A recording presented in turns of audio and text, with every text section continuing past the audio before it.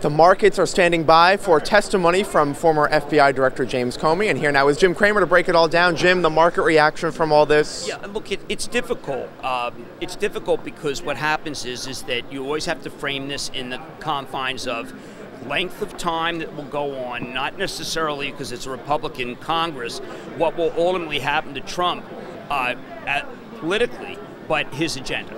And his agenda uh, which is tax cuts, which is deregulation, which is repatriation, is so far out of people's heads now. I mean, remember, this is supposed to be infrastructure week.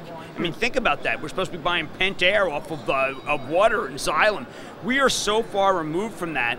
Uh, Comey, uh, no Comey, he's a uh, very uh, confident fella.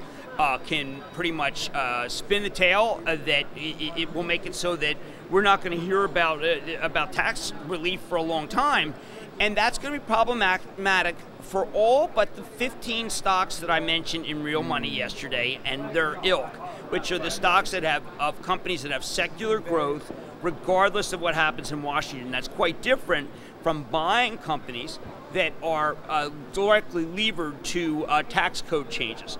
But at the same time, let's not forget that we had Draghi speak this morning, mm. where you just simply have to understand that the Europeans have to buy our bonds. Mm. So don't freak out that rates are so low. We will get a rate hike next week, and the banks are acting better for the second day in a row.